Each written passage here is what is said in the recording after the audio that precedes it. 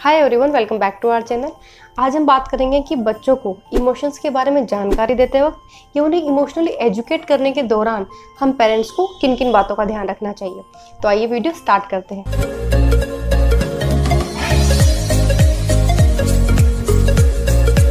सबसे पहला पॉइंट बच्चे की किसी गलती या बैड बिहेवियर के प्रति एकदम से रिएक्ट नहीं करना है। इम्पेशेंट नहीं होना है कि ये तो ऐसे करता है, कहीं ले जाने लायक नहीं है, सब लोग क्या कहेंगे? सबसे बड़ा रोग क्या कहेंगे लोग? ये कहावत तो आप सबने सुनी होगी। और इस एक थॉट की वजह से कि सब लोग क्या कहेंगे, हम बच्चों को इतना एक्स्ट्रा डांट देते हैं कि वो हमसे इमोशनली दूर हो जाते हैं। बल्कि हमें करना ये चाहिए कि जब भी बच्चा ऐसा कुछ करे, कोई गलती करे तो हम उसे शांति और प्यार से समझाएँ। बच्चे इमोशंस भी कॉपी करते हैं। हम किसी सिचुएशन को हाइपर होकर हैंडल करेंगे, वो भी यही सीखेंगे। हम काम रहेंगे, शांत रहेंगे तो वो भी हर सिचुएशन को पीसफुल तरीके से हैंडल करना सीखेंगे।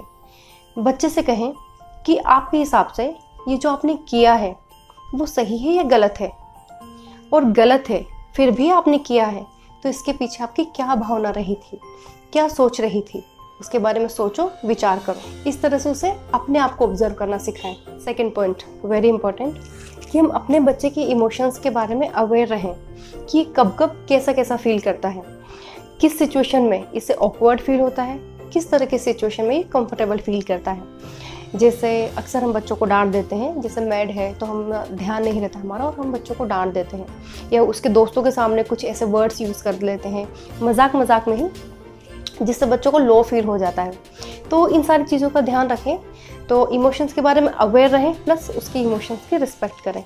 नेक्स्ट डे कि शुरू से ही बच्चों में प्रॉब्लम सॉल्विंग अप्रोच डेवलप करें। ये हम उन्हें हमारे डे टू डे लाइफ में डेमो करके भी दिखा सकते हैं।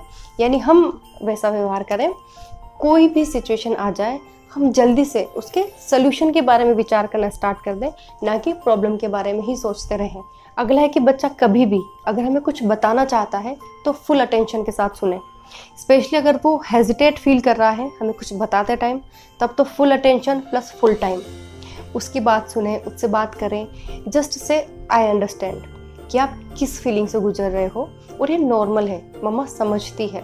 नेक्स्ट है कि हर थोड़े थोड़े दिन में बच्चे को ये एक लाइन ज़रूर बोलते रहें कि मम्मा आपके साथ है या पापा आपके साथ है हमेशा। चाहे कुछ भी हो जाए, कैसी भी सिचुएशन आ जाए, हम हमेशा आपके साथ हैं ही। इससे बच्चे मेंटली ओपन हो जाते हैं हमें हर तरह की बात कंफर्टेबली बताने के लिए। अगला है कि बच्चों को सारी बातें बताने में टाइम लगता है। ऐसा नहीं होगा कि हमने एक बार बता दिया, दो बार बता दिया और वो समझ गया। नहीं, कई बार हम ये गलती करते हैं। एक दो बार बताते हैं, बच्चा अपनी बात सुलभ हरकतें तो करेगा ही। हम सोचते हैं, इसे तो कुछ समझ नहीं आता, ये तो कुछ नहीं समझते। बट ऐसा नहीं है, वो सब समझते हैं। पॉइंट इज़ कि वो अपनी उम्र के हिसाब से ही व्यवहार करेंगे और करना चाहिए। तो गिव अप नहीं करना है और अपने बच्चों को हर तरह की नॉलेज हर तरह की एजुकेशन देते रहनी है। Uh, क्योंकि स्कूल्स में भी ये पॉइंट इग्नोर किया जाता है इमोशंस के बारे में नहीं बताया जाता। तो हमें ही उन्हें इस तरह की शिक्षा देनी पड़ेगी। इमोशनली एजुकेट बच्चे अपनी भावनाओं को अच्छी तरह समझ पाते हैं। और जो अपनी भावनाओं को समझ पाता है वो सामने वाले की भावनाओं को भी क्लियरली समझ पाता है। इसीलिए ये बच्चे अपने रिश्तों को बखूबी निभाना सीख जाते हैं। तो आप भी अपने बच्चों को ये सारी जानकारियाँ ज़रूर दीजिए। वीडियो पसंद आया तो लाइक कर देना, चैनल को सब्सक्राइब करते हुए बेलाइकन हिट कर देना। मिलते हैं किसी नए वीडियो में, तब तक के लिए बाय